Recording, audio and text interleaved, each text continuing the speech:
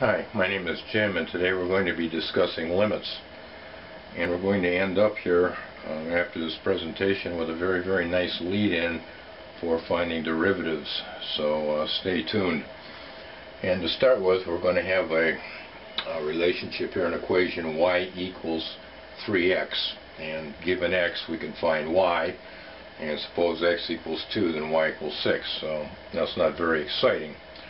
So what happens when we get close to um, x equals 2? And that's the limit notation is getting close to. So if we took the limit of both sides of this uh, equation, we have the limit of y as x goes to 2 is equal to the limit of 3x as x goes to 2, and that again equals 6.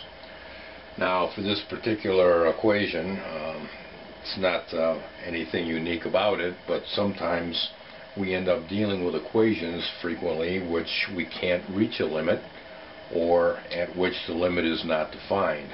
So in that case the limits become extremely useful. Now example of that would be the equation y equals 1 over x squared. So looking at just the expression of the right side of the equal sign, we would say what's the limit as x goes to infinity? And what we would find would that would be equal to 0. Now that would be x going to infinity would be going out in this direction. In your mind's eye is what you can see here is that there's an asymptote which is going to approach zero but it can never reach it with any real number because infinity is a mathematical construct. But if we let it go to infinity we could state that it would end up being zero. Now uh, again using the same um, uh, equation here and looking at this expression again, only letting x go to 0, we get something which is completely different. In this case, we're ending up with, uh, if x were to be equal to 0, is a divide by 0, and that's uh, undefined. But as we get closer and closer and closer to 0, coming in this direction, is what we see is that the value of y gets larger and larger and larger. So as x approaches 0, y approaches infinity, so in limit notation we would say as x goes to 0 of 1 over x squared would be equal to infinity. Now we're going to be looking later an electronic component that has a characteristic like this, uh, only defined in quadrant 1. So in some function, the direction of the goes to is very important. And an example of that uh, would be the equation y equals 1 over x.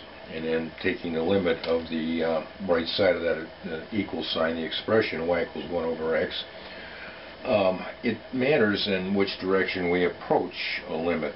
So for example, if I were to say, uh, what's the limit as x goes to 0? Well, x goes to 0 um, can be either a positive or negative infinity. So I have to state which direction I'm going in and then coming in from the um, left side or moving to the right I would say x goes to 0 with a little negative sign above it. And that would be this trace where the limit would approach negative infinity. And contrarily if I were to approach 0 coming in from the right side x equals 0 plus what I would get is positive infinity. Now, how do you know the way these are going to behave? I mean, we see two kind of similar relationships here, but the limits are very, very different. And the answer to that is, is have an idea of the way the, uh, the equation uh, or the expression is going to behave when you're approaching a certain number. Graphing calculators, math programs, and so forth can give you an idea so that you're not surprised when you see something like this where you need to specify the direction in which you're approaching the number of inputs. Let's take a look at uh, limits of the form 0 over 0. And to start with is I have um, this expression here, and it would be y equals, you know, for this expression, or f of x equals, but I'm not writing that as most limits in textbooks do not. And if we take a look at the numerator here as x goes to infinity, we're going to see easily that that's going to be equal to infinity. And likewise with the denominator, if we let x go infinity, that's going to be equal to infinity. So we end up with this very uncomfortable arrangement of infinity over infinity, and we would be tempting to say that um, that would be equal to kind of like uh, 0 over 0. I mean, what does infinity over infinity mean? And in this case, it doesn't give a meaningless, a meaningful um, limit uh, idea of what the limit is. And this may in fact have a limit, which is meaningful, but we have to do a little manipulation to get that.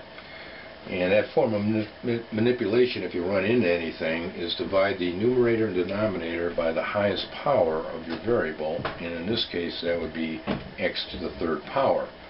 And uh, for this example, it will give us a, a meaningful limit. So I've set this up here, divide by x by the third, numerator and denominator, so I don't change anything. There we go. And uh, just pulling this one term out to explain the way that we get these numbers inside, to be very clear, is we'll take a look at 3x squared over x to the cube, and then what I want to do is use the rule of exponents and move the x cubed into the numerator. So I end up with 3x squared times x to the negative 3 power. And when we multiply numbers like this with an exponent, is what we do is we add the exponents. So that would give us 3x to the negative 1, and then moving that x to the negative 1 into the denominator will give us 3 to the x to the plus 1 and we usually don't write a plus 1 or a 1 behind uh, an exponent but that's where uh, this term is going to. So if we end up dividing these out here, as you can see here, we end up with 4.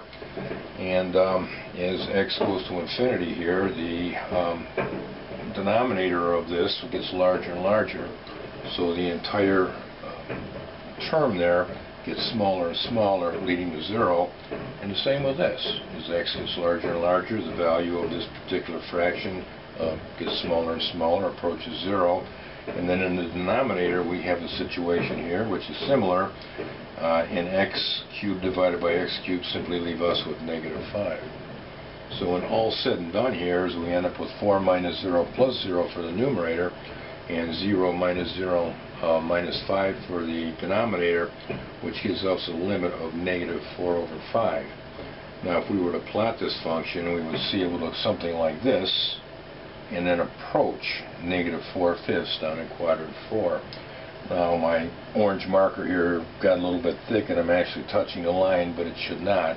This is an asymptote, which means it gets close to negative 4 fifths, but never, never gets there.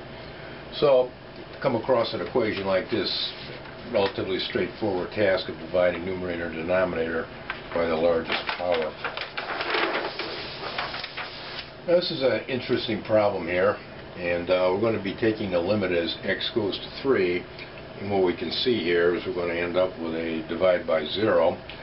So uh, what I've done is factored this numerator down into x minus 3 times x plus 3 divided by x minus 3 and I was careful to write these over each other, which will help us get an idea of what's going on.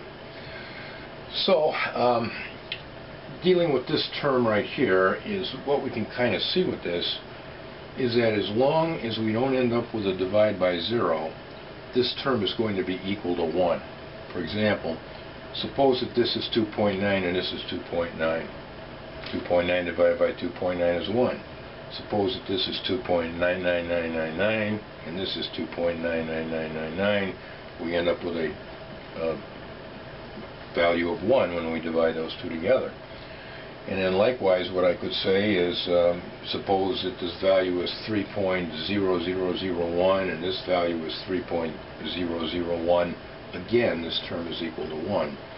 So um, what we can do then is evaluate this here for points uh, up to x equals 3 and any point that's not exactly equal to x equals 3 is defined. So what we would say here is the limit as x goes to 3 would be 1 times x plus 3, this is 1, which equals 6. And then at the exact value of x equals 3, it's undefined, and I've shown that here by a little zero. So um, again, it's undefined at x equals 3 exactly. It's defined for x equals 2.999, repeat forever. And it's also defined for x equals 3.001 whole bunch of zeros, 1. Um, so we have one place where it's not defined and every other single thing is. So that's kind of an interesting um, arrangement here is where this line can be very, very straight, just getting an undefined here, and then continue on. And then this would be the intercept of that, which would be uh, 3. So um, if we were to factor this, we would end up with, um, well, just dividing these two out, we end up with x plus 3. And uh, this is defined, and as we can see that that equals 6 everywhere. It's defined everywhere. So the question is, and I suppose that math people would be very concerned about this, is is this equal to the factored version here? For electronics, I wouldn't worry about it because x equals 3 is really an infinitely small number relative to all the other numbers and we're basically have values that are 5% resistors and noise and power supplies and so forth. How likely is it that we're going to hit 3.00 out to infinity and cause a problem in a circuit? So that I thought was an interesting problem. Now, um, leading into derivative, derivatives, and uh, derivative means rate of change, and that's very important in electronics. And we're going to start out here with tangents. And there would be helpful. So, um, some components, uh, like op amps, have a limit on how fast they can change, how fast the output can change, and it's not instantaneous. So we're going to try to represent this a little bit uh, using slope notation. And uh, I started out with a sine wave, uh, just so we could kind of see something here.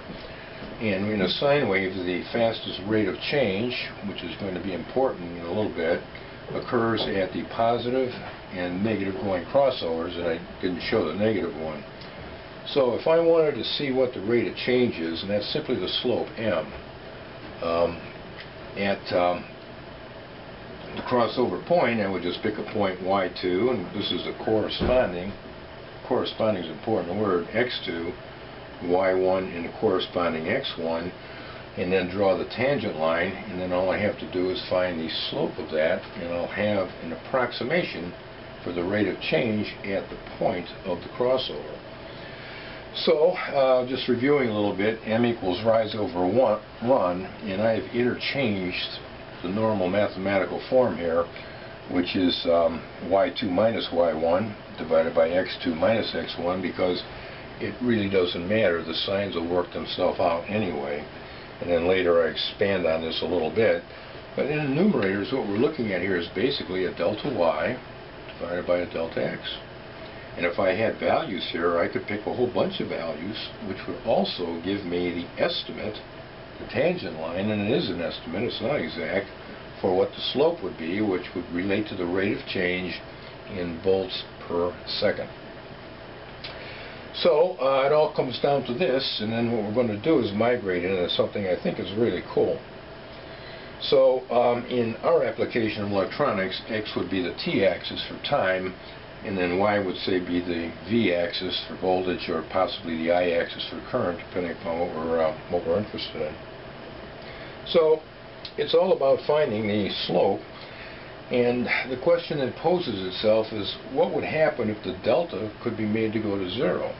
Now what that means is, is if I took these two points and slid them closer and closer to the actual crossover point, the tangent line, if I didn't draw it with a big old thick magic marker, would actually be approaching the exact value of what the rate of change is at that point. Tangent lines are estimates. So that's what we're going to try to do is see what happens if we can get that delta to go to zero and end up with an exact value for rate of change. And remember, as we move forward, this all kicks off from M, rise over run. Nothing more to it than that, except we're going to be using slightly different notation. So, since the uh, taking the finding the derivative of sine waves using that requires a double angle rule, we're going to move back into polynomials because it's a lot easier to understand.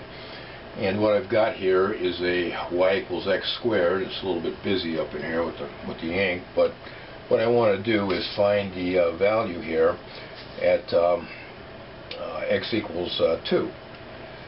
And uh, this would be the 2 here. I didn't write it down because it's got enough stuff written down. And this would be 4. 2 squared is 4. And then I'm going to pick a point above it and a point below it. So the point below it I've called y1 and that corresponds to value x1 and the point above it is y2 with the corresponding x2. So again I state m equals rise over run y1 minus y2 divided by the corresponding x1 mi uh, minus x2 and uh, again as the delta on this would go to zero meaning these two points would get closer and closer the tangent will be exact um, if we could draw an exact tangent but the mathematical approach will yield a number which is exact. So um, what we're going to do, and this is kind of an important change here, is instead of calling this um, y1 and y2, is we're going to refer to this point as the function of x, which is the same as, in the example I used here, y1. And the second point is we're going to refer to as x plus delta x, the function of x plus delta x. So remember that the function of x in this case is simply equal to y, and the function of x plus delta x is going to be this guy plus a little bit. Now, if we project this um, uh, downward, what we're going to do is uh, be able to see that what we're talking about is a delta x between these two points. Now, Unlike this, where I picked a point above and below the point of interest, using this technique, I can pick the point of interest and then a little bit of an offset. Doesn't matter because as my delta x goes to zero, this point slides toward this point, and this point doesn't have to move because that's our, our value. So what we're going to do now is just exchange in our equations f of x and f of x plus delta x for y1 and y2. And then in the denominator of that, we'll have our delta x. So breaking that down a little better here is we've got y1 minus y2, and I have f of x and f of x plus delta x. And then the denominator is x1 minus x2. Um, and um, I can kind of see from that that this is basically the exact slope equation.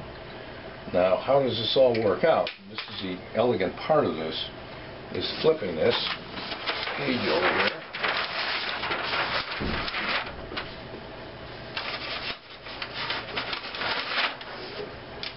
We see this form, and I'm repeating this a little bit, is equal to this form, y1 and y2, x1 and x2, then um, simply taking this and substituting delta x for the denominator, which is kind of okay.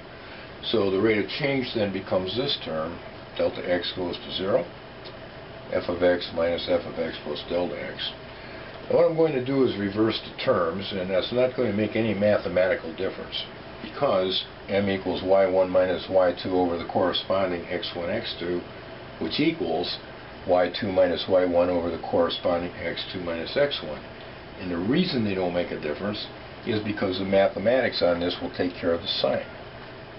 So I've kind of started, I suppose I should have used y2 uh, first, but it doesn't really matter. So now I'm converting in that form so I can be in accord with standard explanations of the way this guy works. Uh, so what we're going to be doing here is taking a look at this and uh, I've now added my x plus delta x to represent the second point on the curve. This would be the, the higher one, and I'm going to subtract from it the x squared. So that would be in the numerator right here, y2. That would be the higher point minus the actual point of interest, which would be x squared divided by delta x. So to end up with a meaningful answer here, let's let's FOIL this term and uh, multiplying that out, the first times the first, the first times the second times 2, and the last times the last, minus x squared here, divided by delta x. And then what I'm going to do is unpack this and uh, combine like terms, and what I see is I've got an x squared a negative x squared here, so that term will go away, and then in the numerator I end up with 2x delta x plus delta x squared divided by delta x is expressed right there. Now this is when things get interesting. As delta x goes to 0, what we have is this term goes to 0, and what we're ending up with is 2x. That's the answer. Now, what does it mean?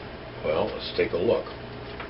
And um, if, if you understand the substitution of f of x for one of the y values and f of x plus delta x for the other, you got this. So let's take a look at our parabola and see what the meaning is. Here's our guy, and um, I started out letting x equals uh, 0 here, and uh, let me write down the equation here again, I suppose. Oh, here it is. y equals um, x squared. So if um, x is 0, um, y is 0, and the rate of change is 0, and the rate of change, if I elected to draw that using a tangent line, would be right here. And you see that the slope of that would be equal to 0. So the rate of change, if we had a waveform that looked like this, would be equal to 0. And while I'm here, parabolas, at least half of this here, is the form of a junction field effect transistor. Um, it also has a relationship for V squared over R and I squared times R, and also for MOSFETs. So parabolas do exist in the electronic world. We're not out in space somewhere in a decoupled math environment. If I let x equal 1, well, y is going to be equal to 1, and the slope is going to be equal to 1. So if I were to, say, put a point right here and draw a tangent through it, we would see that m, rise over run, is equal to 1. If x equals 2, y is equal to 4, easy enough. And since our value here uh, that we got from the previous page is 2x, the slope would be equal to 4. Now things get interesting at x equals 3. The value would be 3 squared, which is 9, and the rate of change of that, the slope would be 6. If we have x equals 4, the value would be 16, and the rate of change or slope of that would be 8.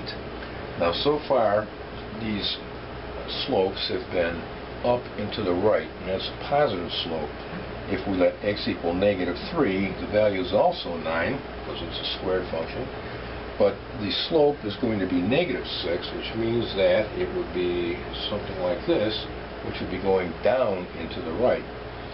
So expanding this out here, if uh, we take a look at this, and these little squigglies mean it's not contiguous based on the origin, x equals 3, y equals 9, the slope of this line right here, m, would be equal to 6. So what we could say at that point right there is this is changing at a rate of 6. And um, if we were to assign this, say, time, and this would be volts, it would be changing at 6 volts per second at exactly that point. If we move it down, the rate of change is going to be smaller because the slope, say, at this point is going to be less and if we move it up past this point, the rate of change is going to be higher because the slope up here is higher.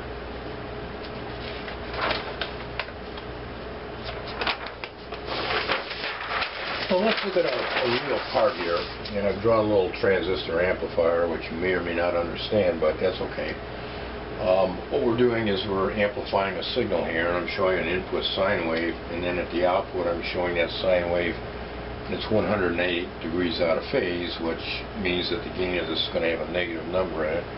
And a negative number, if you think about um, a graph, x and y simply means that you're multiplying the gain by negative 1, which moves it over to the other side, which means it's inverting 180 degrees. No problem with that. Now, to bias this transistor such that it doesn't whack off the top or the bottom, we'll kind of set the bias point here so it's halfway between 15 volts and 0 volts or ground. So what we have is our sine wave sitting on top of 7.5 volts and it's deviating up and down relative to that.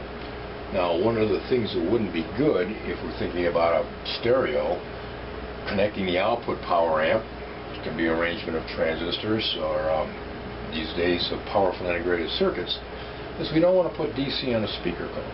And the reason is because it just pushes it out or pulls it in, depending upon the polarity, and that's where it sits. And it's getting hot, and then it moves from there, and the excursion rate of the speaker cone is limited. So what we need to do is get rid of the DC component and hit the speaker with a bipolar signal, say where this pulls the cone in and this pushes the cone out, and then the cone would replicate a sine wave, making pressure waves in air that our ears would hear as a sine tone. So how do we get rid of this? And taking a look at the uh, relationship of this, we take the limit as f goes to 0 over 2 pi fc. Now, if we graph a capacitor's response, that would be uh, uh, this term here. Um, this would be x sub c on this axis, and actually this would be in negative third quadrant, but I'm not going to worry about that because it's negative j. It's usually drawn in quadrant 1 anyhow. So what we would see is we have two kind of asymptotes here. Um, one is that as f goes to infinity, the numerator goes to zero, and the value of the capacitive reactance xc approaches zero. But for this case, we don't care about that form. What we're going to do is let f go to zero, and zero hertz is represented as direct current.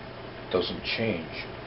And then what we're seeing is we're picking up a positive asymptote, and if I put this in limit notation, as f goes to zero, the capacitive reactance xc would be going to infinity.